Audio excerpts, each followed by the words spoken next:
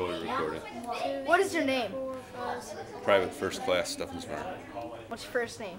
Ryan. What team do you belong to, Ryan? Uh, uh, uh, uh, robotic research.